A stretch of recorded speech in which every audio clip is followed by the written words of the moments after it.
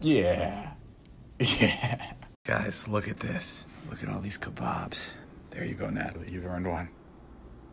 Why are you so weird about it? Guys, I just got the kebab and the rice stuck in my nose. It's stuck in there right now. And I'm blowing chunks of rice out out of my nose. What do I do? Do I have to go to the hospital? I can't breathe. It's still in there. I feel like an idiot. Update. I don't know if I should be sucking or blowing right now. It's like still lodged in my nose. Guys, this just came out of my nose. Oh my god. Oh my god.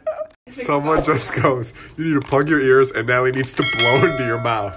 Nat, you gotta save me. Go. You just want attention. You don't want my heart. Maybe you just hate the thought. What are you doing? Oh shit, Put your man. Back on. It's the Ace Ventura hair for me, sir. If I'm not back in 10 minutes, just wait longer. Good morning, everybody. Good morning. Yo no soy lucido, mucho menos presumido, pero sí me doy a respetar. Y'all, I just met an angel, and his name is Daniel. Daniel, Yeah. you told me you're a space nerd. Space nerd. Huge. Huge So, space nerd. so what does that mean? Means I love space, everything about space, everything.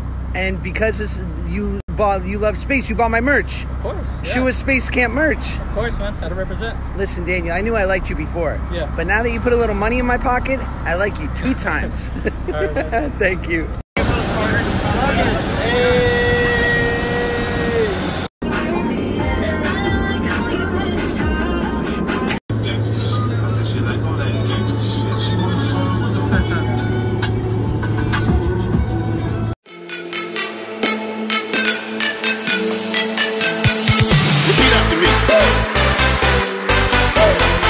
Repeat after me.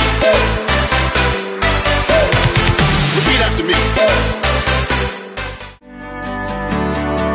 Do you ever wonder how did we get here?